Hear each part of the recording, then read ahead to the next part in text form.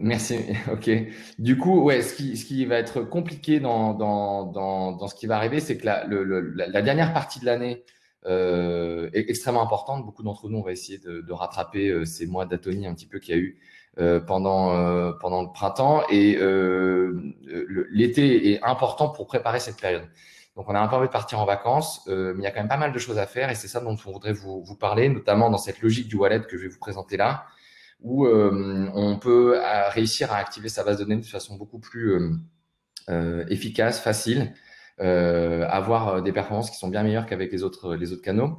Le seul fait est que avec le wallet, c'est important d'abord de recruter les gens sur, sur le wallet pour pouvoir les activer après. Et l'été, en fait, ça peut être une bonne période pour, pour, pour activer euh, ces, euh, ces, ces personnes-là, les recruter et les activer par la suite.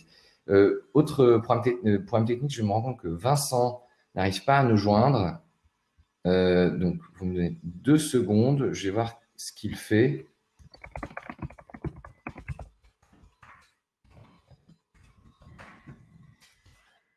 Euh, et en attendant, je vais commencer et je vais vous partager euh, les petites slides qu'on a faites qui vont donc vous expliquer évidemment ce que ce qu'on fait euh, avec le web, comment ça marche, pourquoi c'est intéressant, et ensuite de façon hyper concrète avec toute une série de, use cases bien précis des marques avec lesquelles on travaille, chez qui ça marche bien, euh, comment ça peut s'adapter, excusez-moi, à votre à stratégie. Euh, la première, la première slide, c'est juste pour présenter rapidement qui on est. Au-delà du fait de savoir qui on est, c'est surtout ce qu'on fait et pourquoi les marques avec lesquelles on travaille avec les, ont, un intérêt et en quoi ça peut vous ressembler euh, euh, au niveau où vous êtes et dans le type de marque avec laquelle vous êtes. On travaille avec une centaine de, marques qui ont toutes cette même problématique qui est hyper importante, euh, à savoir la nécessité d'être présent sur le mobile. Euh, parce qu'aujourd'hui, il y a 70% du trafic, je pense que tout le monde le voit avec sa marque, avec son expérience. la plupart, la majorité du trafic se passe sur mobile, sur le site. Euh, la plupart des emails sont ouverts depuis le, mobile. Euh, et, donc, on se retrouve avec un, canal, un écran qui est, euh, qui est maintenant le plus regardé, le plus consulté. La, majorité d'investissements publicitaires se font sur, ce, sur cet écran. Et donc, c'est devenu un écran absolument incontournable qui, en tant que marque, marketeur, il est absolument incontournable de, gérer ou au moins d'assurer une, présence. Mais ces marques-là ont aussi parallèlement à, ce constat, elles ont aussi fait l'autre constat qui est que c'est extrêmement compliqué pour elles d'être présentes sur le mobile parce que pendant des années, et depuis que le smartphone et le mobile existent, euh, on, le, prisme qui a été qui a été qui a été le, plus poussé sur le marché, ça a été de travailler. Ah voilà Vincent, salut Vincent. Euh, la façon dont a été euh, envisagé le mobile jusque-là, c'était de faire une appli mobile. Si tu veux être présent sur euh, le mobile des clients, il faut que tu fasses une appli. Et en fait, on toutes les marques s'en sont rendues compte, ça c'est assez vrai depuis les deux, trois dernières années, que c'était très compliqué pour elles d'être présentes via une application parce que elles n'engageaient en fait que les personnes qui étaient extrêmement fidèles chez une marque.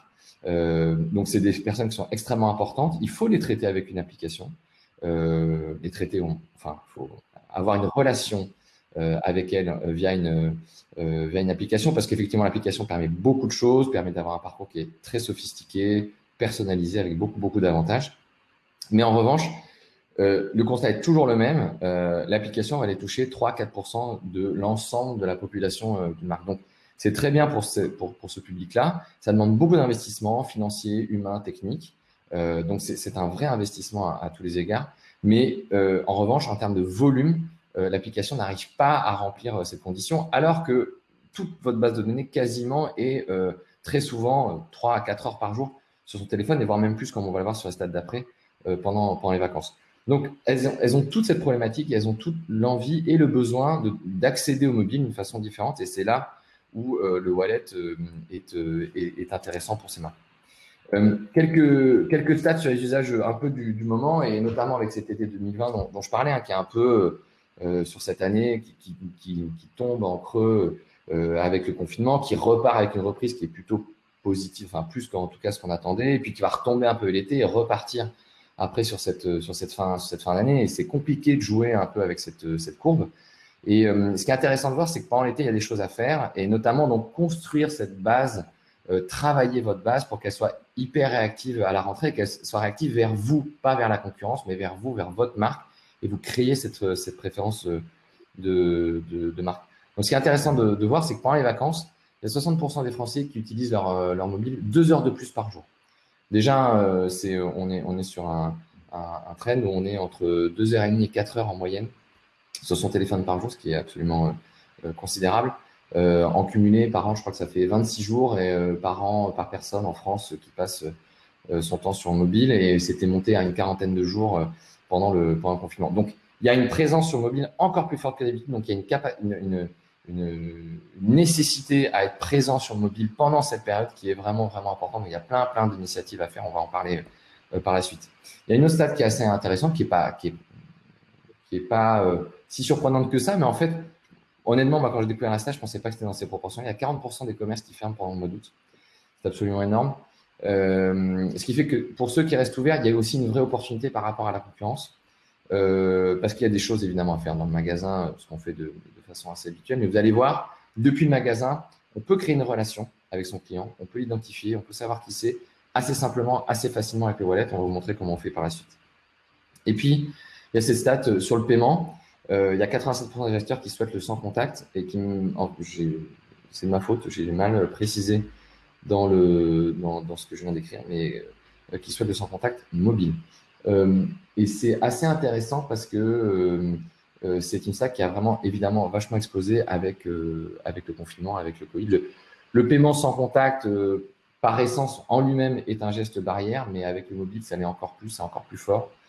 Euh, parce que la carte est dématérialisée dans le, téléphone, on n'a plus qu'à poser sa carte, son téléphone, même pas à poser, à, effleurer le, TPE pour, pour, que ça valide le paiement, sachant que avec les wallets, euh, le paiement n'est pas euh, plafonné. Hein, il, est, enfin, il est plafonné en fonction de votre compte en banque, donc ça dépend de chacun. Mais il n'est pas plafonné avec les 30 ou 50 euros tels que la loi l'a maintenant étendu sur, sur les cartes mobiles, pour la simple et bonne raison que comme on s'identifie avec son Touch ID ou son Face ID ou même avec son code, ben voilà, il y a une, phase de sécurité qui fait que on ne peut pas faire payer n'importe qui avec le NFC. Voilà, ces stats montrent que là, pendant, enfin, il y en a plein d'autres, hein, mais on a isolé celle-là, euh, montrent que euh, pendant l'été, il, il, il y a des choses importantes à faire euh, pour vous permettre de construire euh, une audience, de construire euh, une visibilité et qui va vous permettre en fait de, de, transformer à la rentrée. La rentrée qui est un, moment extrêmement important de, de, de l'année. Les, les, budgets par enfant, évidemment, comme on peut l'imaginer, explosent. Et, euh, c'est un moment qui est absolument fondamental où c'est compliqué de se faire une place. Et c'est le sujet un petit peu qu'on adresse avec les marques avec lesquelles on travaille, c'est comment euh, vous faire une place sur le mobile de vos clients simplement et comment émerger par rapport aux canaux traditionnels qui peuvent être euh, le mobile, le SMS, etc. Donc le wallet, euh, qu'est-ce que c'est concrètement pour ceux qui ne sont pas, et pour être sûr que tout le monde soit au clair, nous on travaille avec les wallets natifs, ce sont les wallets d'Apple et de Google. Donc Apple iOS, Google Android, donc là c'est eux qui gèrent tous les OS surtout les mobiles dans le monde entier. Et les deux, Apple et Google, ont édité une application euh, qui s'appelle Wallet d'Apple d'un côté, qui, en, qui a la, la, la, la, feature Apple Pay dont on va parler euh, dans, cette, dans cette application. Et de l'autre côté, c'est Android qui a Google Pay. Euh, ces applications ont un énorme avantage, euh, c'est qu'elles sont développées par Apple et par Google, donc elles sont bien développées. Euh, elles permettent, elles permettent, elles sont surtout, en tout cas pour le wallet d'Apple, d'être pré-embarquées sur le téléphone. C'est-à-dire quand j'achète mon téléphone, l'appli est déjà présente dans le téléphone. Et d'ailleurs, je peux même pas la supprimer.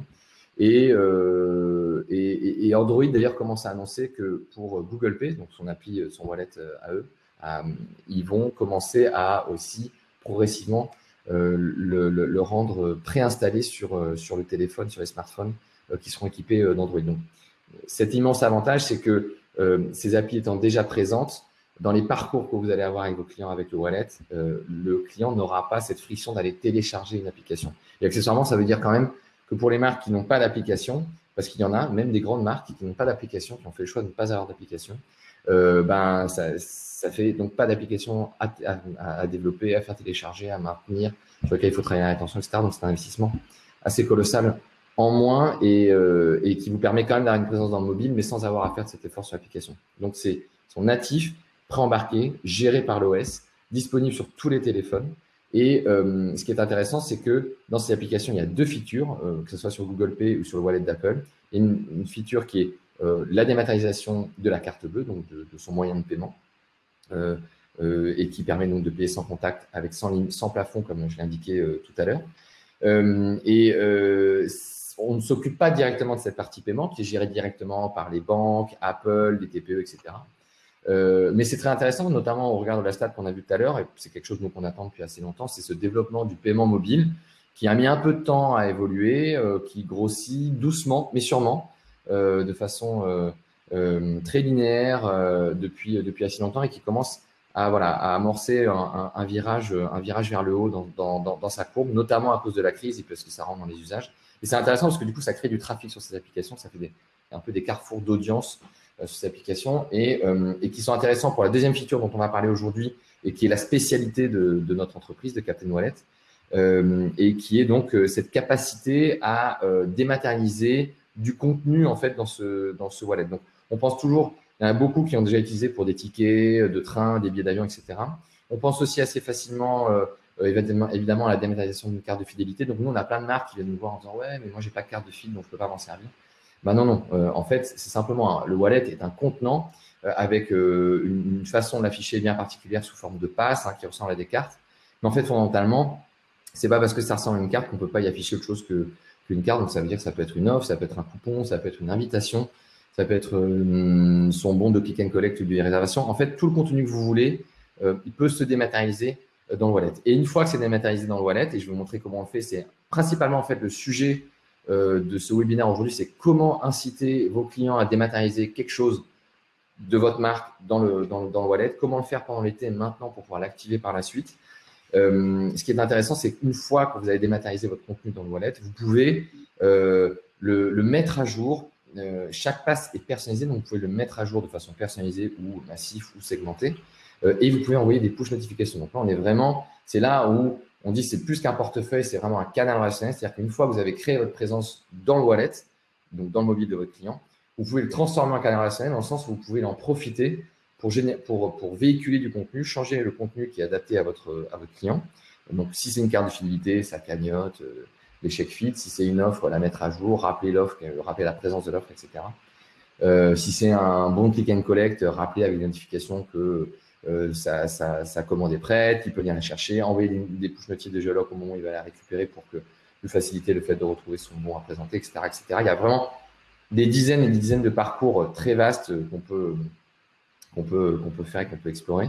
Euh, mais le, l'essentiel à retenir, c'est que c'est un moyen excellent pour se retrouver dans le mobile de votre client et pouvoir communiquer avec lui de façon, euh, très simple. Euh, pour faire télécharger quelque chose dans le wallet et donc le rendre accessible, ce qui est assez intéressant, c'est qu'on peut le faire depuis n'importe où, depuis n'importe quel point de contact. Donc, il y a tous les points de contact online, assez classiques, SMS, euh, email, site web, réseaux sociaux, display, etc. Euh, ça, c'est euh, intéressant parce que ça veut dire que partout vous avez un point de contact avec vos clients, vous pouvez l'inciter à sauvegarder votre contenu sur, son mobile. Et plus vous multipliez ces points de contact, plus vous aurez du volume sur Wallet et donc plus vous aurez la capacité à influer le comportement de vos clients pour qu'ils viennent plutôt chez vous qu'ailleurs. et puis, très important aussi pour les retailers, on peut permettre de dématérialiser du contenu dans le wallet offline, c'est-à-dire depuis votre point de vente. Et ça, c'est super important parce que votre point de vente, même s'il a pris un coup là pendant, pendant la crise, etc., euh, ça restera quand même euh, là où vous allez faire la majorité de votre business. C'est là où vous allez avoir la majorité de votre trafic qui sera qualifié et, potentiellement captif. Et donc, c'est là où vous devez absolument aussi concentrer vos efforts de recrutement de, vos clients dans votre base de données et euh, le faire via le wallet. c'est génial parce que c'est pas juste une adresse email qui peut-être il ouvrira un jour un de vos mails. C'est carrément créer une présence dans le mobile que vous pourrez activer avec du push et donc avec une réactivité qui est beaucoup plus forte. On va venir sur les stats après. Et je vais, détailler, euh, vous allez voir, ce, slide il va être détaillé par la suite dans les différents euh, cas d'usage qu'on va vous montrer. Et puis là, ça ne fait que dire ce que je vous ai déjà dit, c'est que le wallet, c'est fait pour euh, dématérialiser plein de choses, pas forcément que la carte de fidélité. C'est pas parce que vous n'avez pas de programme de fidélité que vous ne pouvez pas utiliser le wallet. On a 50% de nos clients qui n'ont pas de programme de fidélité et qui utilisent le wallet. Je pense à des marques comme Sandro, comme Jennifer, qui n'ont pas de programme de fidélité. Ils font même assez peu d'offres. Ils ont créé des cartes de magasins, en fait, des cartes Sandro, des cartes Jennifer. Jennifer joue pas mal sur la notion de communauté. Euh, Sandro plus sur le côté VIP et donc euh, fait euh, générer une carte en fait dans, dans, dans, le wallet de ses clients et puis dessus il déroule pas forcément des offres. Hein. De temps en temps évidemment il y, a, des offres, des ventes privées, des, des, événements importants comme ça de l'année, mais il y a aussi beaucoup de contenu, leur collaboration avec différentes avec d'autres marques, des reminders sur du serviciel. Hein. ça peut être des rappels sur le fait qu'ils sont ouverts euh, ce dimanche-là, notamment dans le contexte qu'on connaît. C'est intéressant pour la marque de, de, de, de dérouler ce genre euh, d'informations. C'est pas forcément que du promotionnel pur et dur, c'est vraiment créer ce canal avec son client directement sur mobile pour le mettre au courant des informations euh, qui sont importantes pour lui dans sa relation avec, avec Alain. Point, dernier point qui est assez important, enfin qui est même très important, euh, donc, nous, on a, lancé notre, euh, notre boîte et cette solution euh, il, y a, il y a 7 ans. Et il y a 7 ans, le problématique, c'était l'app. C'est de dire, beaucoup de marques, c'est un peu ce que je disais au début, c'est, ah bah non, moi j'ai une app, donc j'ai pas besoin d'un canal. Depuis, beaucoup de marques, c'est marrant parce qu'il y a énormément de marques avec qui on avait commencé à échanger dans les années 2014-2015. Ils disaient, écoute, non, moi, c'est l'app, je fonce sur l'app et tout, t'inquiète pas, j'ai mis une, super nouvelle feature sur mon app, tout le monde va les télécharger, etc. Bon, résultat, c'est que donc, un peu comme prévu euh, deux, trois, deux, trois ans après, ben, finalement, l'app, non, elle, reste quand même euh, sur ces 3-4% de clients super fidèles, mais elle ne va pas aller chercher les autres. Euh, ça, c'était le premier obstacle qu'on avait. Puis après, le deuxième, c'était, bah ouais, c'est sympa, mais bon, c'est plutôt un nice to have pour faire du mauvais franglais de marketing que du must have. C'est un truc vraiment qui va m'apporter quelque chose de, qui va impacter mon chiffre d'affaires, parce que c'est ça qu'on cherche tous, quoi. Et donc là, euh, on a une centaine de clients euh, aujourd'hui, des grands, des grands comptes pour la plupart. On est en train beaucoup aussi de, de s'ouvrir vers des comptes euh, plus petits, d'avoir des offres qui sont plus adaptées aussi pour ces comptes qui, sont, qui ont moins de volume, qui sont peut-être un peu moins matures aussi technologiquement avec moins d'outils. Mais là, la plupart de nos comptes sont des grands comptes. Et voilà les stats qu'on arrive à faire. Donc, c'est assez important parce que c'est la moyenne. Donc, ça veut dire qu'il y en a qui sont beaucoup plus forts que ça, il y en a qui sont un peu moins forts que ça. Mais quoi qu'il en soit, même ceux qui sont en dessous de ces moyennes-là, ça reste des stats qui sont beaucoup plus forts que n'importe quel autre euh, canal. Les deux stats importantes, euh, c'est bah, la valeur client, c'est-à-dire le panier moyen en fait augmente de plus 15% en moyenne pour les gens qui sont walletisés, c'est-à-dire les gens qui ont du contenu de la marque au format wallet. Euh, donc c'est un panier moyen qui augmente de 15%, une récurrence qui augmente de 20%. Et en fait, quand on a ces deux stats et qu'on les multiplie par le volume qu'on arrive à avoir par rapport à une base de données chez un client, qui est que la première année, on walletise entre guillemets 15% des clients d'une base de données, bah, quand on multiplie les trois, euh, l'impact sur euh, le chiffre d'affaires à, la fin de l'année, est, extrêmement, extrêmement euh, puissant. et on se retrouve avec un, canal qui est extrêmement important pour la marque à activer pour pouvoir faire valoir son, discours marketing et les, offres et les temps forts qu'ils veulent, pousser à leurs clients. avec la crise, évidemment, on a eu peur comme tout le monde, comme tout prestataire, comme toute solution, ben, de se dire bah voilà, qu'est-ce qui va, se passer? On va, passer à la trappe parce qu'on reste sur des budgets quand même euh, marketing et donc c'est souvent ceux-là qui sont, qui sont coupés. On a été confirmé par 100% euh, euh, de nos clients, donc vraiment le canal, le wallet a été maintenant identifié comme un canal à part entière par, par les clients. Ils ont l'email, ils ont les SMS et ils ont le wallet. Et euh, le wallet fait partie euh, de, leur, euh, de leur plan de reprise chez toutes les marques avec lesquelles on, travaille. donc ça, ça a été un, élément important de, bah, de réassurance évidemment pour nous. Hein. On connaît tous la peur dans, des mouvements, dans des, dans des crises aussi mouvementées. Euh, mais ça, c'est un vrai, un vrai sujet important et qui montre à quel point le wallet pour ces marques est devenu important euh, en termes de, de, relations clients et de, chiffre d'affaires. Et on voit dans cette slide, avant le Covid, bon, c'est des, avantages que je vous ai euh, déjà euh, montré, mais après le Covid, c'est vraiment le côté canal de proximité. J'échange avec mon client de façon simple sur son mobile, très directement. Le côté outil de sécurité sanitaire, voilà, tout, est sur le téléphone, c'est du sans contact. Je privilégie en fait cette, philosophie un peu du, du, du geste barrière. Très bonne alternative aux canaux traditionnels saturés des, canaux traditionnels, email, SMS, app, etc., qui sont ultra saturés aujourd'hui, euh, parce que tout le monde a repris à mort sur ces canaux qui sont euh, très c'est un peu des commodities, comme on dit aujourd'hui. Ça ne veut pas dire qu'il ne faut pas faire de SMS ou de mail, hein, pas du tout. Il faut en faire. Surtout, il ne faut surtout pas arrêter d'en faire. Mais c'est simplement que voilà, la façon de s'adresser à son client, c'est un mix.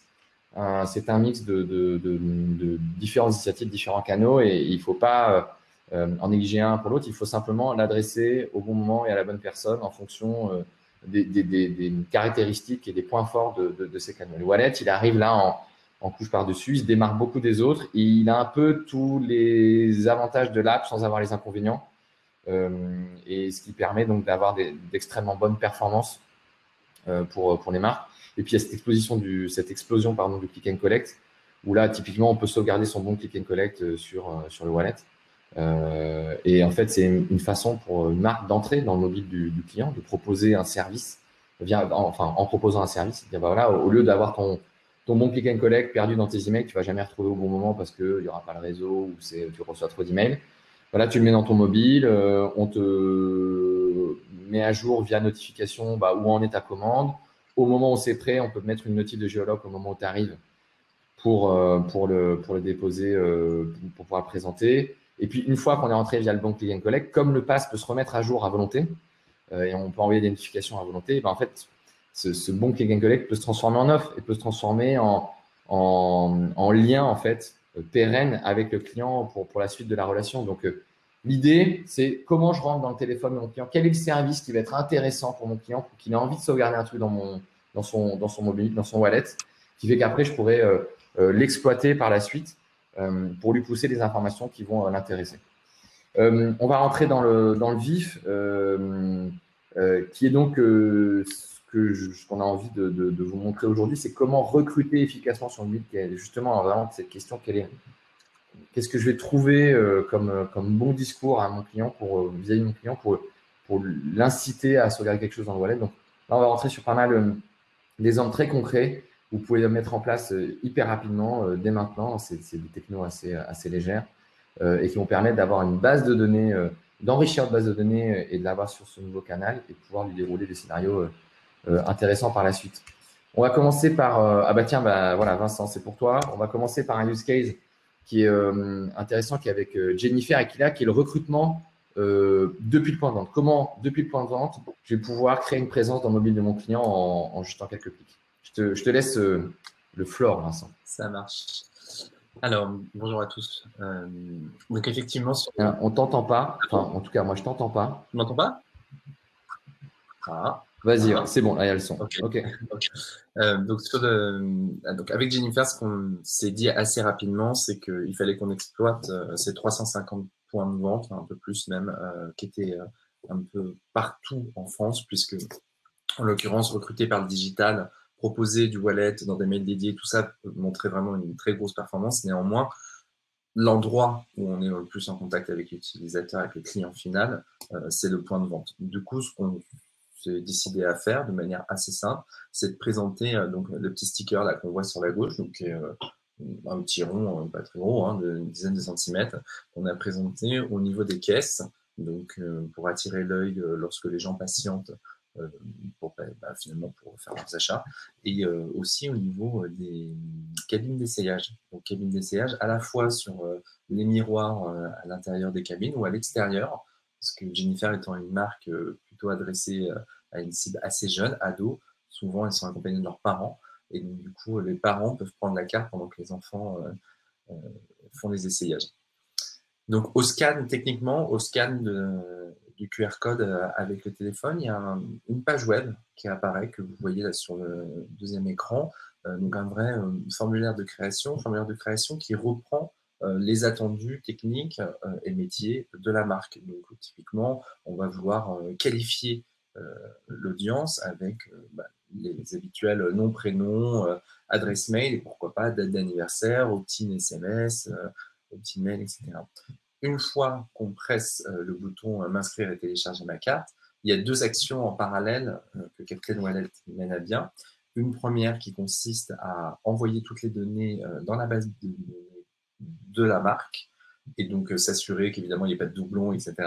Récupérer un ID client pour ensuite créer la carte toilette au nom de la personne qui vient de remplir son formulaire.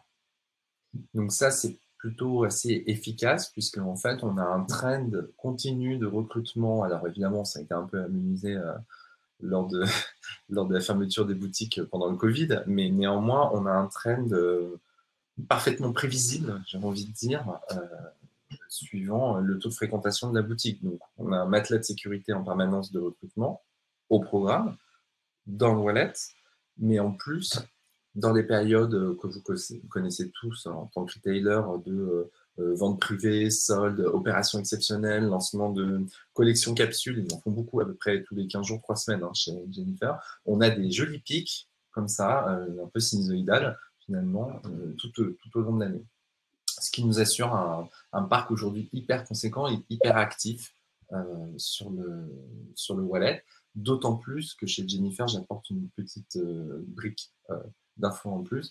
On a réussi, il y a le case study, je crois, qui est disponible sur notre site, mais on a réussi à réactiver des gens qui étaient beaucoup plus éloignés de la marque parce qu'on n'arrivait plus à tracer soit leur achat, soit qui étaient complètement absent de l'ouverture des mails et de tous les messages qu'on pouvait faire passer par les moyens digitaux classiques, on va dire. Donc les commodities euh, dont on parlait euh, tout à l'heure avec Celle. Et en fait, tous ces gens-là, on a réussi à les rapprocher beaucoup plus de la marque. Donc on s'est vraiment servi du wallet comme un canal de proximité hyper fort euh, avec leurs clients. effectivement, les, inactifs ont été. on a réactivé quatre fois plus d'inactifs. Et donc, en fait, quand les inactifs et euh, les non segmentés sur une base de données, ça représente très souvent euh, un, gros tiers, voire euh, un peu plus, même une base de données en général chez toutes les marques. Donc, c'est une partie qui est hyper importante. Et là, le wallet a réussi à activer quatre fois plus d'inactifs, c'est-à-dire les personnes qui recommencent à s'activer, qui étaient loin de la marque, qui recommencent à s'activer. Le, wallet les a voilà, mobilisés quatre fois plus et les a fait dépenser deux fois et demi plus. donc, c'est un vivier important parce que là, on parle de volumes qui sont très importants en général sur une base, sur une base de données. On enchaîne sur euh, l'use case euh, d'après? Ouais. C'est, c'est l'ISAC. Tu, tu, tu, veux dire un mot? Ouais, je vais prendre, je vais prendre la parole sur ce cas-là. Donc là, on est dans un contexte un peu plus rigolo, puisque le, la difficulté, hein, on le sait, hein, pour euh, tous les opticiens, c'est la récurrence d'achat. En réalité, on va chez un opticien une à deux fois par an, donc on achète une paire de lunettes, potentiellement des lentilles de contact euh, euh, sur l'année et puis peut-être une salaire de temps en temps euh, pour soi ou la famille, les enfants, etc. Et en fait, là, on est parti d'un, encore une fois, du point de vente parce que c'est le, nerf de la guerre, mais on est vraiment parti de la stratégie de, il faut jouer la, vraiment le, comment dirais-je, l'effet boule de neige euh, communautaire. Et pour ça, ce qu'on a fait, c'est qu'on a mis en place euh, des QR codes en point de vente. Donc, vous pouvez voir la, la petite PLV euh, sur la gauche, donc qui met euh, en avant euh, l'offre. Alors, je me rappelle plus, c'était 50% sur l'optique et 25% sur le CR, quelque chose comme ça. Ce QR code, une fois scanné, vous permettait de récupérer directement votre coupon dématérialisé qui était valable en boutique, dans n'importe quelle boutique ça. La brique en plus, c'est comme je le disais, on voulait un effet boule de neige. Donc, comme avec les réseaux sociaux, quand on partage un contenu, il y a des personnes qui le voient, et puis ensuite, il y a des personnes qui partagent le contenu. Et si elles sont trois, bah, elles partagent à leur réseau et ainsi de suite. On a un effet un peu pyramidal euh, de la propagation du contenu. On compte là-dessus, euh, dans cette stratégie-là, pour élargir le parc avec une capacité, on va dire, de euh, scanner le QR code qui est dans le, dans le pass en lui-même. Donc le pass wallet devient aussi un vecteur de promo pour d'autres utilisateurs. Donc typiquement, moi, je peux montrer mon pass à Axel. Axel le scan. Et le deuxième point, c'est qu'au dos du pass, donc là on ne voit pas sur la capture, mais on a aussi un lien de partage via les fonctions natives du téléphone. Ici, l'exemple qui, est, euh, qui est présenté, c'est sur Apple. Néanmoins, on a la même chose évidemment euh, sur Google. Et l'objectif, c'est vraiment de pouvoir envoyer, euh, enfin de se servir du client comme ambassadeur finalement de votre programme, de votre offre. Enfin voilà, c'est lui le promoteur. Donc il va envoyer via ses SMS, euh, WhatsApp, son groupe euh, Messenger. Euh, même là, on voit les, partages AirDrop Apple, etc. On peut vraiment envoyer par tous les canaux possibles. Et puis, vous voyez un exemple de partage par SMS avec un texte préformaté qu'on peut évidemment modifier, etc. Mais qui mène vers un lien wallet qui va faire en sorte de recréer cette même carte dans le téléphone. Donc on a vraiment, j'utilise vraiment cette expression d'effet boule de neige, c'est-à-dire que dès qu'on a touché un utilisateur, potentiellement il va nous en ramener trois. Donc bah, si on arrive à en toucher 100 en boutique, mécaniquement, on va en avoir 300 derrière, et ainsi de suite. Et ça permet aussi de mettre en place, voilà, c'est vraiment les, mécaniques assez classiques de viralisation, c'est-à-dire tu as, tu peux accéder à, une offre supplémentaire ou euh, à, un traitement encore, encore euh, meilleur euh, si jamais tu viralises et tu partages à X, X personnes. Ça, on peut le voir, donc on peut le comptabiliser et, donc faire changer le, le, le, pass que le, premier détenteur a en fonction de son, de, de, son action et, de cette façon-là, lui donner envie de, de viraliser. de viraliser donc euh, c'est ça qui est intéressant parce que ça permet euh, de rentrer dans une logique euh, un peu plus un peu plus un peu plus massive. On reste là sur les deux sur ces deux exemples qu'on vient de voir, on reste sur le recrutement vraiment qui a lieu principalement en point de vente avec du QR code. On, sait tous et on entend régulièrement ouais le QR code ça va ça vient. il se trouve que ça, vient fort ces, temps-ci, c'est avec notamment avec la crise Déjà, c'était revenu depuis euh, plusieurs années, notamment via Snapchat, qui utilise beaucoup euh, le QR code.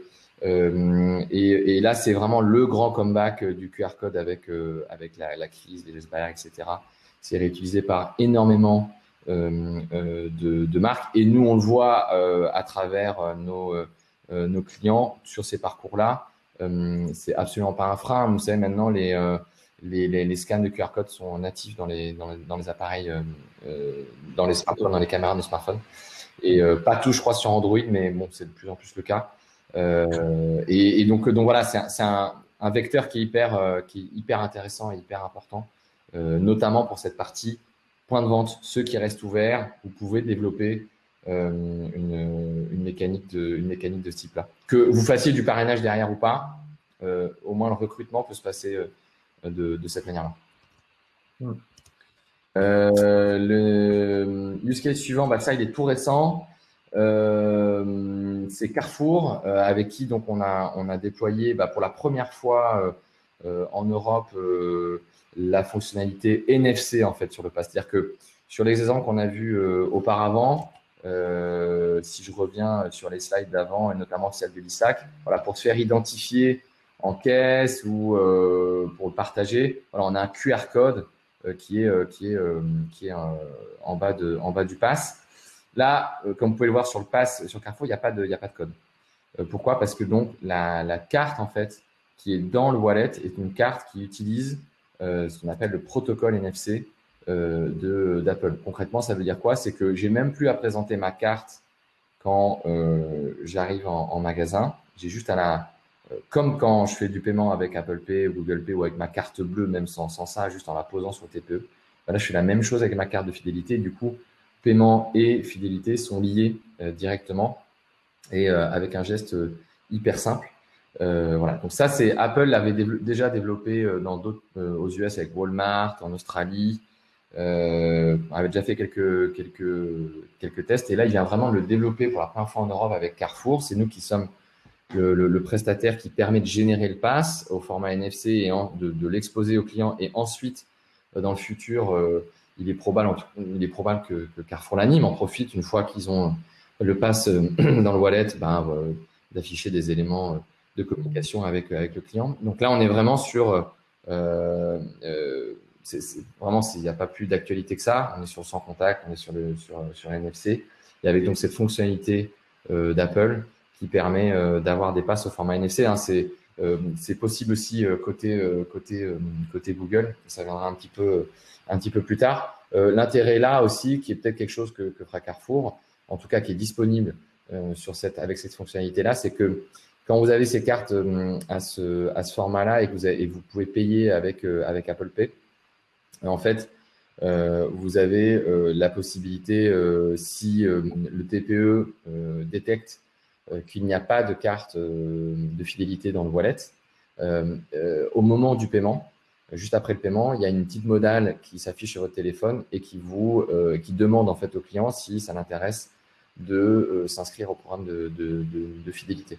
Et donc ça ajoute directement la carte au mobile, c'est-à-dire que vraiment au moment du paiement, on, on couple tout et c'est un, format d'acquisition qui est, extrêmement, euh, prometteur, extrêmement puissant. Euh, c'est génial le, côté, enfin je, je, je suis un peu enthousiaste sur ce truc, mais euh, en fait ce qui est génial, c'est qu'au moment où il propose l'inscription, évidemment, il récupère toutes les infos pour pré pré-remplir le formulaire avec toutes les infos iTunes qu'on a dans notre iPhone, qui sont déjà connus puisqu'on a un compte qui gère tout ça. Et donc, du coup, en, vraiment en deux clics, ben voilà, on a, on a adhéré à la file après avoir fait son paiement. Il n'y a pas cet effet un peu euh, long et qui peut être un peu pénible d'inscription à un programme de file en caisse on est obligé de donner trois fois l'orthographe de notre nom, euh, le, mail qui peut être un peu à rallonge, etc. Là, on est vraiment dans, dans l'instantanéité de je paye mes courses et en fait, en deux clics, bim, je suis inscrit à la file dans la foulée.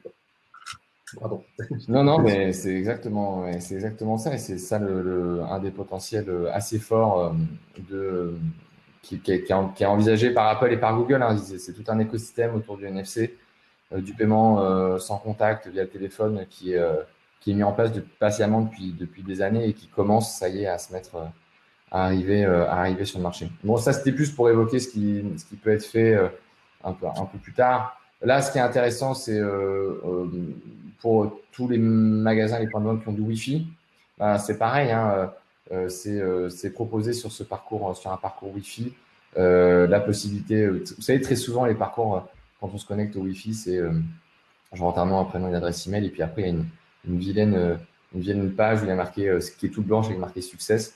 Bon, mm. c'est super dommage. Hein. Il, y a, il, y a, des bots d'ailleurs qui bossent dessus et qui essaient de, de, de, de, de rendre cette expérience un petit peu plus sexy.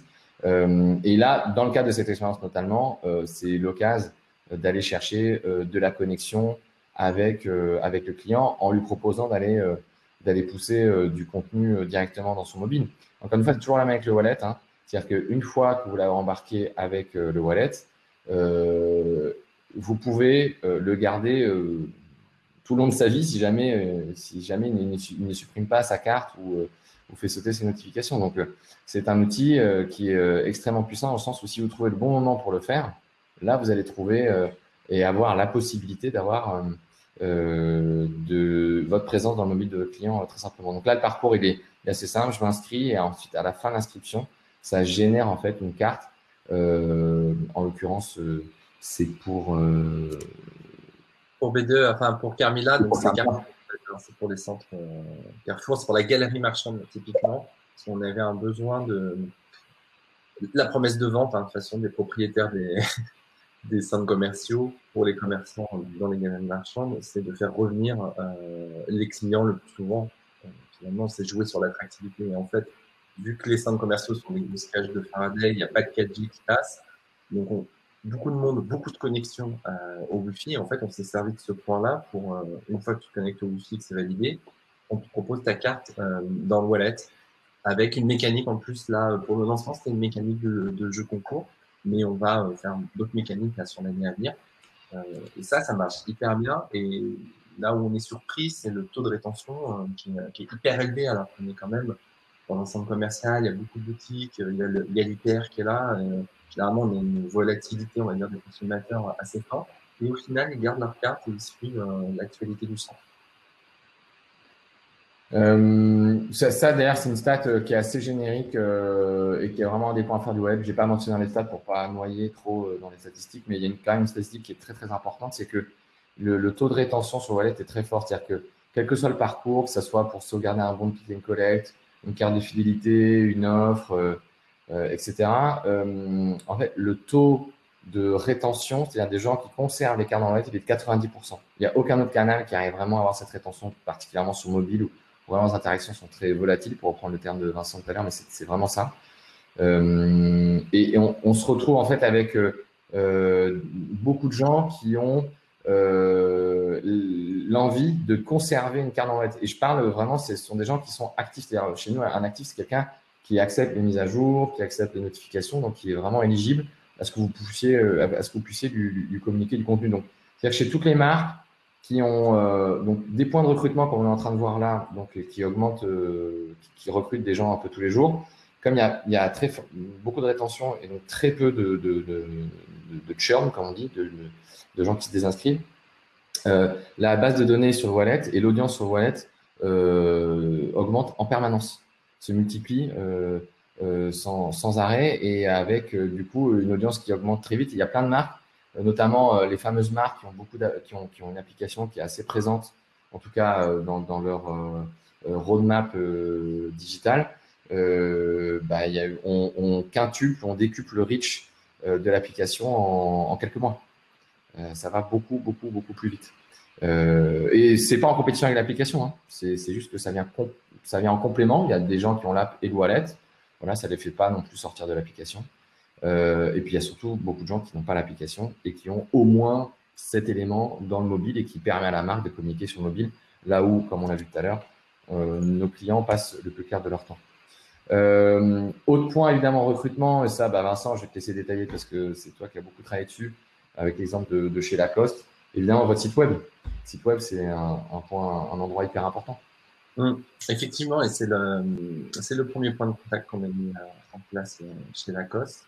Et c'est le plus gros vecteur euh, en fait de trafic vers le wallet, puisque dès l'inscription au programme, on a un petit toast qui apparaît. Donc c'est vraiment un petit écran sur impression. Là, vous voyez le petit cadre gris qui propose d'obtenir automatiquement sa carte dans le wallet.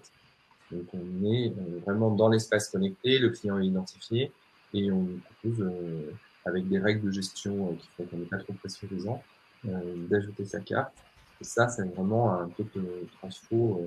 donc chez Lacoste, c'est particulièrement exceptionnel comme taux, mais chez toutes les marques chez qui on a pu le, déployer et qui parfois l'ont enlevé parce que d'un seul coup, il y a eu une migration de site, on voit tout de suite la différence en termes de recrutement sur l'année. donc là, c'est vraiment un fort, un, point d'encartement hyper fort euh, pour Autre use case aussi qui est hyper intéressant, et là on va plus sur euh, de l'acquisition, euh, c'est vraiment autant, j'ai pas précisé ce point-là, mais en fait on, a quand vous avez une base de données, vous allez la walletiser, c'est-à-dire vous allez l'inciter à se mettre sur le wallet, vous allez continuer à discuter, à échanger avec elle, avec les autres canaux avec lesquels vous avez l'habitude.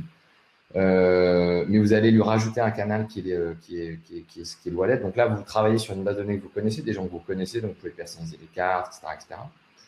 Euh, mais le wallet marche hyper bien aussi sur la partie acquisition, c'est-à-dire des gens que vous ne connaissez pas.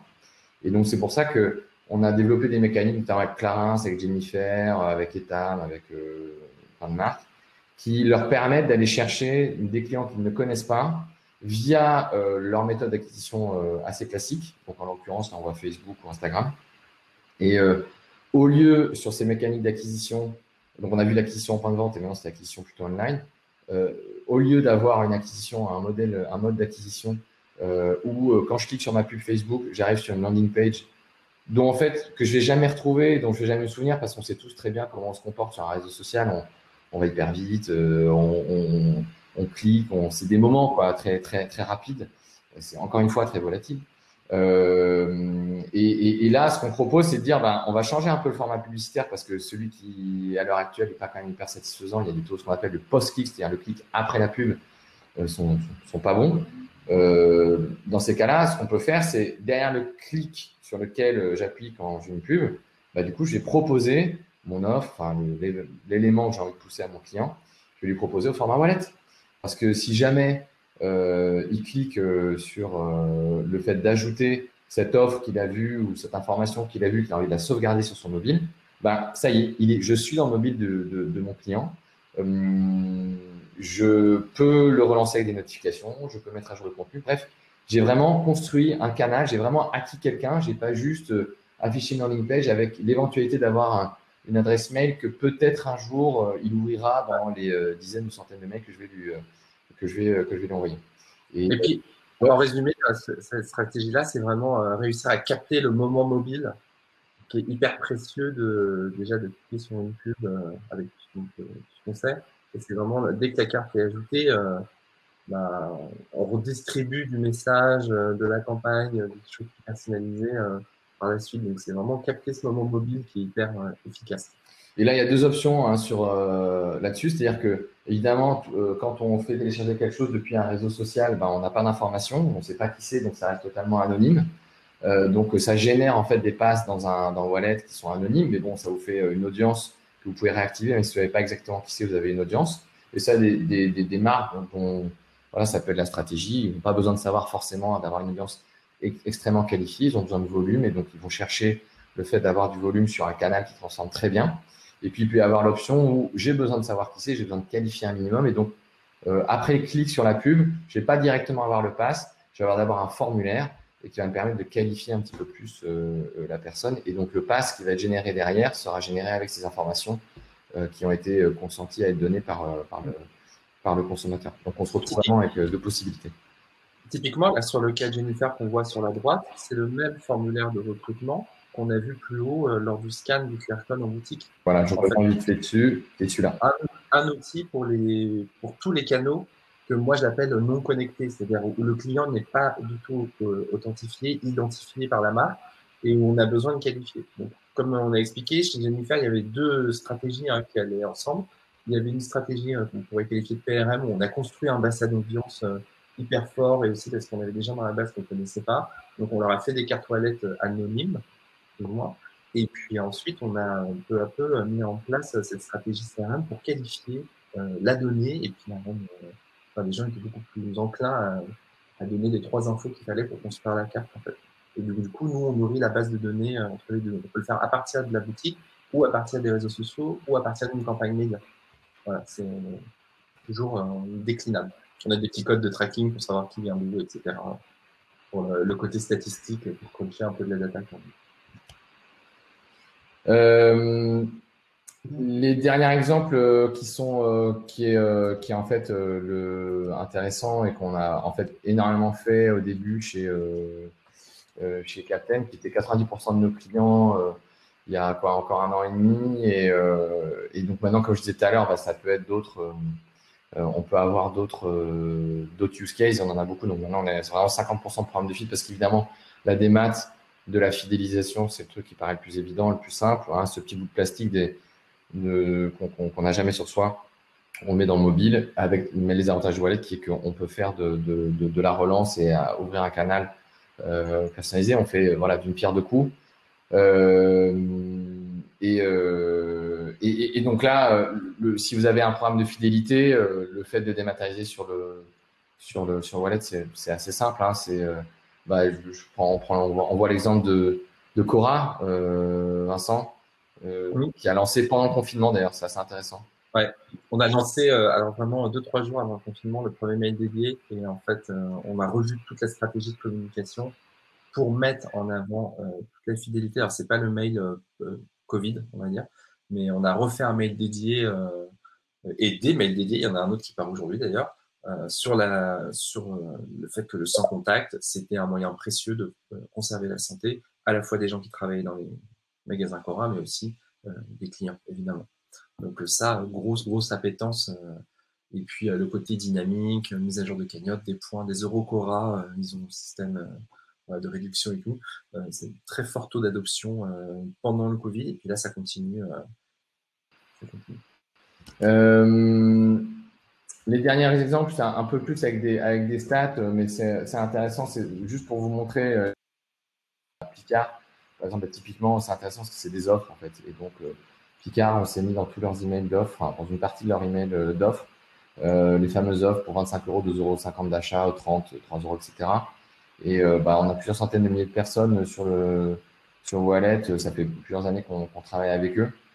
Et ce qui est intéressant, c'est qu'on rentre par une offre et euh, les gens l'utilisent beaucoup. On a des taux d'utilisation d'offres parfois qui vont jusqu'à 50%. Je, m'arrête juste deux secondes dessus. C'est-à-dire que sur 100 euh, personnes qui ont un pass dans un wallet, il y a 50 qui vont en point de vente utiliser. Donc, c'est des taux de transfo qui sont complètement dingues. La notif, la petite notif le samedi à 11h fait un boulot incroyable elle tombe au bon moment, elle fait un reminder. Et donc, sur une offre qui dure 3-4 semaines, on envoie une par semaine. Et ça, ça permet en fait de, de, de faire des taux d'utilisation qui sont extrêmement forts. Mais une fois que cette première offre est passée, ben, on peut l'enchaîner ensuite avec une deuxième offre. Et donc, cette carte qui rentrée juste par une offre devient en fait un lien euh, régulier avec, euh, avec la personne. Même idée euh, avec, avec Land Bruxelles, où là, on avait commencé par des offres, des réductions sur les, les, les, additions, etc. On est rentré aussi sur la carte de film. On a aussi de plus en plus un gros volume avec, avec Lyon de Bruxelles et on voit des, taux de transfert hein, qui sont très très nets sur le wallet versus d'autres canaux et ce taux de rétention qui est 90% qui est, très important. donc voilà, ce qu'il faut retenir, c'est un lien que vous mettez où vous pouvez, le plus simple possible. Ça télécharge le wallet. Une fois que c'est le wallet, vous pouvez animer à volonté via une plateforme.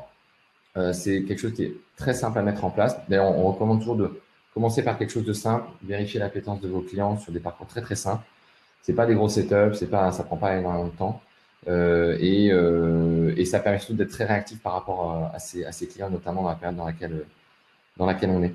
Je vais, on, va, on va prendre les questions qui sont euh, euh, en fonction des votes. Alors, oui, évidemment, on va vous envoyer la, présentation, mais euh, avec, avec, les, avec les use cases, et puis surtout, on pourra en parler avec vous si vous, si vous le souhaitez. il y a une question qui est, que, que je lis comme ça, ça me permet aussi de, la découvrir. Est-il possible de réconcilier les cartes wallet anonymes et les cartes feed dans la plateforme? D'une part, si finalement le prospect s'avère être un client connu, d'autre part, si le prospect devient client par la suite. Alors, euh, oui et non. C'est-à-dire que euh, il faudra toujours, de toute façon, à partir du moment où on génère une carte euh, dans, un, dans un wallet, quand ça passe par notre plateforme, on lui mettra de toute façon toujours cette possibilité d'être mise à jour. si, et en fait, c'est arrivé avec plein de marques qui ont commencé à faire du wallet sans passer par des plateformes comme la nôtre. Euh, je vais les citer, j'en plusieurs pour pas faire de, jaloux, euh, mais euh, il y a des McDo, des Accor, des Nespresso, qui, ont, fait du wallet en fait par eux-mêmes directement en se pluguant aux API d'Apple et de Google, enfin surtout celles d'Apple. Ils ont généré des passes qui sont trouvées être des passes en fait qui n'étaient pas connectées. Donc on ne pouvait pas mettre à jour même si on avait de l'information à mettre à jour. donc ils ont créé un volume important mais finalement, c'est un volume qui a été inexploitable parce qu'ils n'avaient pas du tout la techno pour euh, les mettre à jour, envoyer des notifs, etc. Euh, là, nous, ce qu'on fait, c'est que même si un pass est anonyme au début, qu'on n'a pas d'informations dessus, on va quand même le créer avec une, capacité à être mise à jour. Donc, si à un moment ou à un autre, on a une information sur ce, sur ce pass euh, qui permet de recroiser par votre base de données, une activité, enfin, il y a beaucoup d'éléments qui peuvent permettre de, de, de de faire en sorte que ce, ce, pass soit, soit rattaché à quelqu'un, oui, il pourra toujours être, euh, être, être mis à jour. Effectivement, si le prospect devient client et qu'on a cette information-là, on pourra toujours mettre à jour le pass. Euh, mais il faut passer par une plateforme parce que euh, c'est notre plateforme et notre techno qui permet en fait de connecter les passes à votre, à votre système. Tu as peut-être un complément de, de réponse là-dessus, Vincent? Non, non, c'est Après, je vais descendre trop dans la technique, donc je risque. Ouais, ouais. On, pourra, on, pourra, mais je vais, vous éviter ça ce matin. Euh, et donc, euh, une autre question qui est euh, cette règle de 1 pour 3 pour le partage est-elle valable pour tout type de secteur d'activité Alors, ça, c'est c'est un exemple. Euh, C'est pas le secteur pour moi qui. Ouais, je suis d'accord. C'est pas le secteur, c'est l'attractivité en fait. Comme on l'a vu tout à l'heure chez Lissac, on a quand même un moins 50% affiché euh, sur, du, sur des lunettes et moins 25% sur du solaire. On est quand même sur des offres hyper euh, généreuses. Et du coup, je pense que c'est plus euh, savoir parler à son consommateur. c'est l'offre qu'on peut véhiculer qui créé l'engouement. C'est pas c'est pas le, enfin, finalement, le wallet, notre système de partage, etc., de viralisation, c'est un outil. Mais en fait, c'est qu'est-ce qu'on passe comme message dans cet outil qui va créer de l'intérêt. Ouais, vous, concrètement, hein, vous en faites ce que vous voulez. C'est-à-dire que si vous voulez que ce soit 5 euh, partages ou 1 pour 1, c'est vraiment.